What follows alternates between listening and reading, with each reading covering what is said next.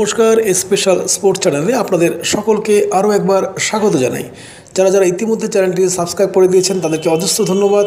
যারা চ্যানেলটি এখনও সাবস্ক্রাইব করেননি, প্লিজ চ্যানেলটি সাবস্ক্রাইব করুন। আপনাদের সাবস্ক্রাইবের মধ্য দিয়ে চ্যানেলটি শ্রীবৃদ্ধি ঘটুক। এই আশা, এই কামনা রেখে শুরু করছি আজকের ভিডিওটি।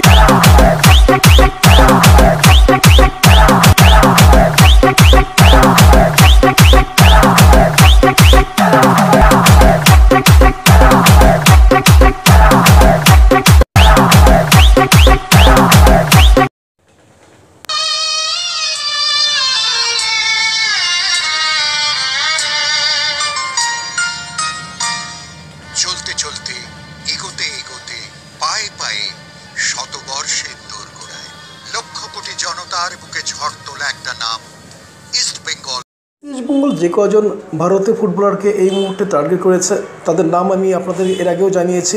তো এখন পর্যন্ত যে আপডেট বেরিয়ে আসছে, এই মুহূর্তে আমরা জানতে পেরেছি যে হায়দ্রাবাদের এফসির পঁচিশ বছর বয়সী তারকা মিডফিল্ডার চিংগেল সানা সিং। হ্যাঁ বন্ধুরা, এই চিংগেলসানা সিংকে কিন্তু ভালো টাকার অফার করেছে এসসি ইস্টবেঙ্গল এবং এই ফুটবলারটি কিন্তু এবছর হায়দ্রাবাদ এফসির হয়ে বলতে গেলে দুরন্ত ফুটবল উপহার দিয়েছেন, দুর্দান্ত ফুটবল খেলেছেন।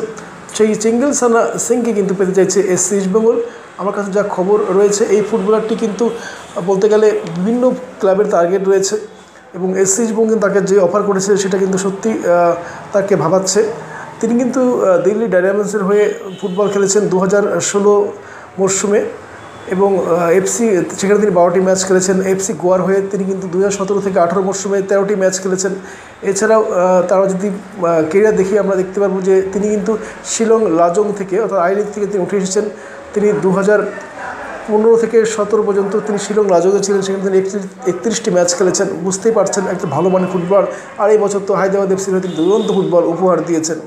তো এই ফুটবলারটিকে কিন্তু ট্রাই করছে এসসি ইস্টবেঙ্গল পাশাপাশি আর যে সমস্ত ফুটবলারকে এস সিজমোন ট্রাই করেছে ভারতীয় ফুটবলারদের মধ্যে, অন্যতম হলো জামশেদপুর এফসির ডিফেন্ডার বরিশ সিং থাংজাং এই বরিশ সিং থাংজামের সঙ্গে কিন্তু এস সিজমোনের কথাবার্তা চলছে। ইনি কিন্তু আন্ডার সেভেন্টিন দলে খেলেছেন ভারতের হয়ে ওয়ার্ল্ড কাপে এবং এবছর কিন্তু দুরন্ত ফুটবল উপহার দিয়েছেন। তিনিও কিন্তু বলতে গেলে ভারতীয় ফুটবল, যে ভারতের ইয়ং ট্যালেন্টেড ফুটবলার রয়েছে, তাদের মধ্যে অন্যতম এই বরিশ সিং। থাংজাম, তো এই বরিশ সিং থাংজামের সঙ্গে কিন্তু কথাবার্তা চলছে এস ইস্ট বেঙ্গলের।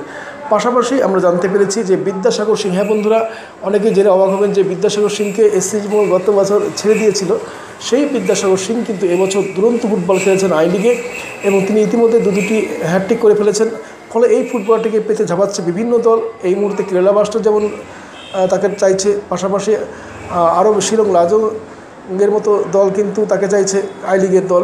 পাশাপাশি আইসিএলের দলের মধ্যে শোনা যাচ্ছে নর্থ ইস্ট ইউনাইটেডের অফার রয়েছে তার কাছে এবং এবং এই মুহূর্তে খবর হলো এস কিন্তু তাকে অফার করেছে, অর্থাৎ তাকে ফিরে পেতে চাইছে। তো বিদ্যাসাগর শিক্ষা কোথায় যায় সেদিকে অবশ্যই আমাদের নজর থাকবে। ভারতীয় স্ট্রাইকারদের স্ট্রাইকারদের মধ্যে অঙ্কিত যাদবের উপর এসসি মনে নজর ছিল বেশ কিছুদিন ধরে। কিন্তু আপনাদের আগেই জানিয়েছিলাম, জামশেদপুর এফসির স্ট্রাইকার, সেই অঙ্কিত যাদবকে সম্ভবত এসসি পাচ্ছে না বলেই সূত্রের খবর। কেননা তিনি কিন্তু শোনা যাচ্ছে যে তিনি তার পূর্ণ দলে থাকতে পারেন এবং জামশেদপুর এফসি নাকি তাকে ভালো অফার দিয়েছে এবং সম্ভবত তিনি সেখানে থাকতে পারেন বলে শোনা যাচ্ছে। যদি এখনও সেটা চূড়ান্ত হয়নি, তো দেখা যাক আগামী দিনে কোথায় আসেন। তবে যা সূত্রের খবর, তিনি কিন্তু জামশেদপুর এফসিতে থেকে যেতে পারেন বলে শোনা যাচ্ছে। পাশাপাশি এস এসএস বোমো কিন্তু এই মুহূর্তে সব থেকে বিস্ময় বালক বলা হচ্ছে যাকে সেই নর্থ ইস্ট ইউনাইটেডের উনিশ বছর বয়সী নিনথুইন গাম্বা মিতাই, এই নিনথুইন গাম্বা মিতাইকে কিন্তু অফার করেছে এসএস বোমোর এই অ্যাটাকিং মিডফিল্ডার পজিশনে খেলা। এই ফুটবলারটি তিনি কিন্তু আন্ডার সেভেন্টিন দলের হয়ে খেলেছেন, ভারতের হয়ে ওয়ার্ল্ড কাপে আন্ডার নাইনটিন দলের খেলেছেন আন্ডার নাইনটিন না সোজা আন্ডার টোয়েন্টি দলে খেলেছেন। এবং সাব ফুটবলে ভারতের হয়ে প্রতিনিধি করেছেন এবং ভারত এবং সাব টুর্নামেন্টের মোস্ট ভ্যালুয়েবল প্লেয়ার হিসেবে ঘোষিত হয়েছেন এই নিনথুইং বা মিতাই। তো নিনথুইং বা মিতাইকে সম্ভবত এসসি মুঙ্গল ভালো টাকা অফার করেছে বলে আমরা জানতে পারছি। তিনি কিন্তু ইন্ডিয়ান এরেস থেকে উঠে এসেছেন। তারপর তিনি নর্থ ইস্ট ইন্ডোতে এই মুহূর্তে খেলছেন এবং খেলছেন বলে ভুল হবে। দুরন্ত ফুটবল খেলছেন এই নিনথুইং বা মিতাই তো এই ফুটবলটি কিন্তু একটা হিউজ টাকার অফার করেছে এসসি বলে আমরা জানতে পারছি।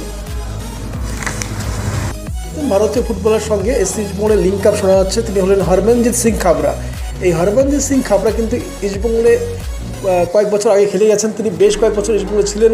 তিনি ইস্টবেঙ্গলের পরিবেশ সম্পর্কে যথেষ্ট অবগত, ফলে এই ফুটবলারটি আগামীতে এসসি বল আসেন কিনা সেদিকে অবশ্য আমাদের নজর থাকবে, কিন্তু তার বয়সটা যদিও একটু বেশি, তো সেই এই বয়সে তিনি কতটা কী খেলতে পারবেন সেটা নিয়েও যদিও সন্দেহ রয়েছে আমার, তবু যা শোনা যাচ্ছে যে তার সঙ্গে নাকি এসসি বল কথাবার্তা বলছে বলে শোনা যাচ্ছে। বিদেশি ফুটবলার যে আপডেট রয়েছে এই মুহূর্তে, তো এসসি বাংলা এই মুহূর্তে ব্রাইট এনোবাখারে রয়েছেন স্টেনম্যান রয়েছেন, কিন্তু যা শোনা যাচ্ছে যে ব্রাইট এনোবাখারে এসসি বাংলা থাকলেও স্টেনম্যান সম্ভবত এসসি থাকছেন না।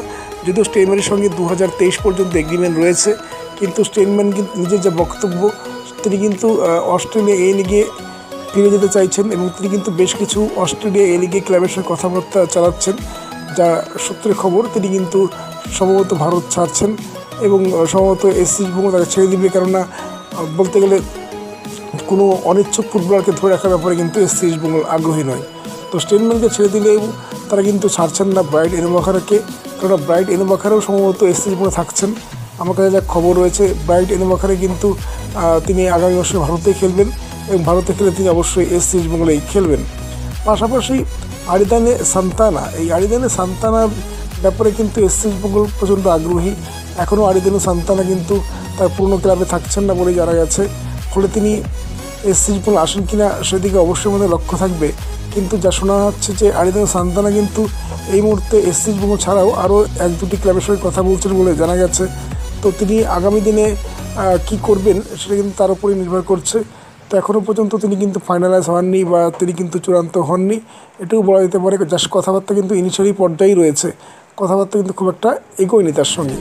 দ্বিতীয়ত যে ফুটবলটির নাম আমরা জানতে পেরেছি, তিনি হলেন মরিসিও। এই মরিসিও কিন্তু একজন দুর্দান্ত স্ট্রাইকার এবছর তিনি কিন্তু ভালো ফুটবল খেলেছেন। বলতে গেলে বেশ কয়েকটা গোলও করেছেন, দশটা গোল করেছেন এবং তাকেও কিন্তু পেতে চাইছে এসসি বেঙ্গল এই মরিসিও ফুটবলারটি আমরা যদি তার খেলা দেখি, তাহলে দেখা যাবে যে তিনি কিন্তু একাই বলতে গেলে উড়িষ্যা এফসিকে টেনে নিয়ে গেছেন ম্যাচের পর ম্যাচ।